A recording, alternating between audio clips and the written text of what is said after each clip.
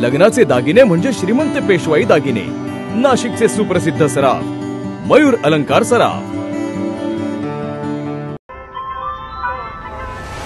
ताज्या बातम्यांसाठी नाशिक न्यूजच्या युट्यूब चॅनलला सबस्क्राईब करा आणि बेल आयकॉनला प्रेस करा.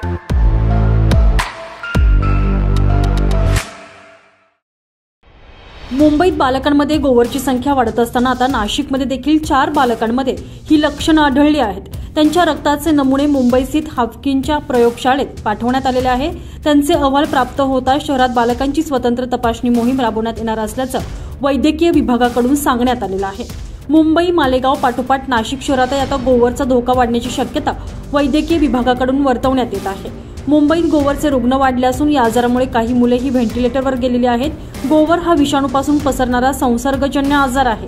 मुंबईत तीन रुग्णांचा यात मृत्यू झालेला आहे. नाशिकमध्ये देखील पालिकेच्या वैद्यकीय विभागानं शहरातील काही भागांमध्ये केलेल्या तपासणीत गोवरचे लक्षणं असलेले चार संशयित रुग्ण आढळले असल्याचं वैद्यकीय अधीक्षक डॉक्टर बापूसाहेब नागरगोसे यांनी नाशिक न्यूजशी बोलताना सांगितलं आहे.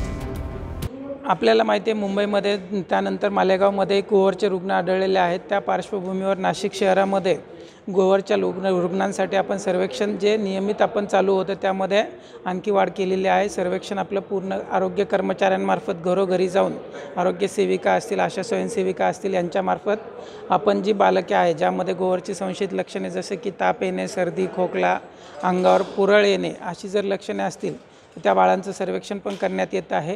त्याचबरोबर जर बाळा लक्षणावाली बाळं सापडली तर त्यांना औषधोपचार महानगरपालिकेचे आरोग्य केंद्र असतील शहरी आरोग्य केंद्र आहेत दवाखाने आहेत यांच्यामार्फत आपण बाळांना उपचार पण करत आहोत. जर असे काही बालकं असतील जर ज्यामध्ये मी सांगितलं त्याप्रमाणे सर्दी खोकला ताप असेल अंगावर विशेषतः अंगावर पुरळ असेल तर अशा बालकांना लवकरात लवकर नजीकच्या शहरी आरोग्य केंद्र असेल किंवा महापालिकेचे दवाखाने असतील यामध्ये जाऊन आपण वैद्यकीय सल्ला घेणे गरजेचे आहे. त्यांच्यावर उपचार सुरू करणं गरजेचं आहे.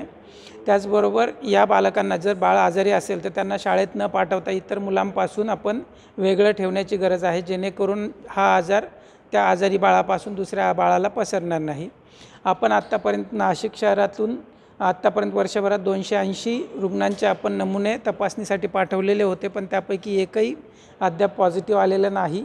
कालही आपण चार संशयित रुग्णांचे रक्तनमुने घेऊन ते तपासणीसाठी पाठवलेले आहेत. दरम्यान नाशिक शहरात आता संशयित बालके आढळून येताच मनपा वैद्यकीय विभागानं या आजाराचा मुकाबला करण्यासाठी डॉक्टर झाकीन हुसेन रुग्णालयात संसर्गजन्य कक्ष तयार ठेवलेला आहे. तर लहान बालकांच्या पालकांनी त्यांची विशेष काळजी घ्यावी असे आवाहन वैद्यकीय विभागाकडून पालकांना केले जात आहे.